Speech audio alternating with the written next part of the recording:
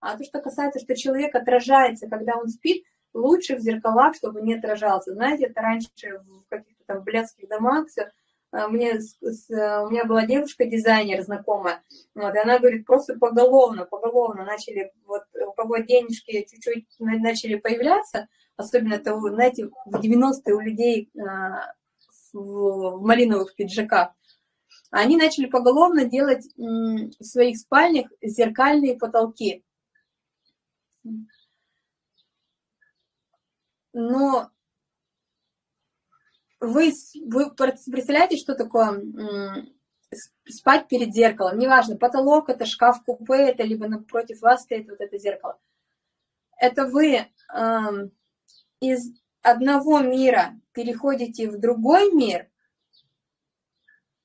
э, где вы есть осоз осознанием самого себя – и тут же есть мир зазеркалья, где, смотрите, вот здесь вы, вы в яве, да, и вы что-то делаете, там что-то там ковыряете, можете что-то взять, еще что-то. И вы это все осознаете, вы понимаете, что там я беру вот этот вот фонарик, я, я его включаю, я его выключаю, ты это понимаешь. Потом ты переходишь э, в, в иной мир, в, в мир сна, где у тебя происходит, в этот момент у тебя происходят определенные моменты а, с твоим физическим телом. То есть это переваривание пищи, это а, охлаждение организма идет. За счет охлаждения организма твои органы начинают более щадяще работать во сне. Вот. И вот эти вот моменты начинают проходить в физическом теле, при этом ты как бы оставляя свое физическое тело, давая ему перезагрузиться – ты сам продолжаешь делать все те же самые вещи, что в яве.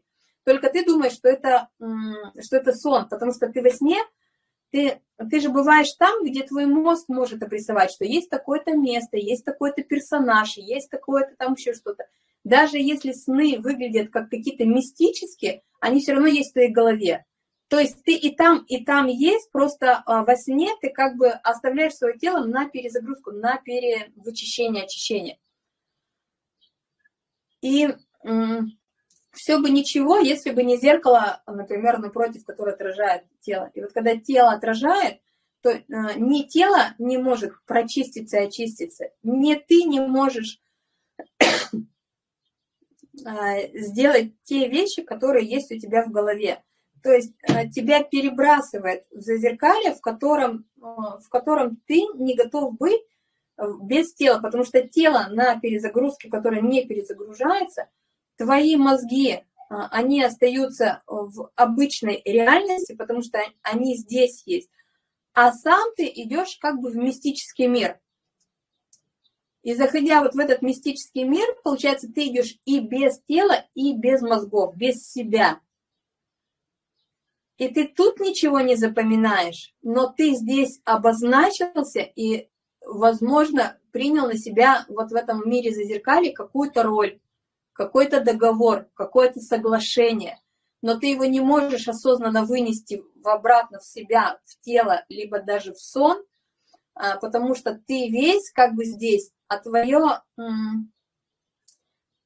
туда переходит в мир зазеркалья. Даже не ты, а практически как твой фантом, неосознанный фантом а должен переходить ты. То есть есть много моментов, где ты через зазеркалье можешь э, выстраивать любые моменты, которые происходят с тобой здесь.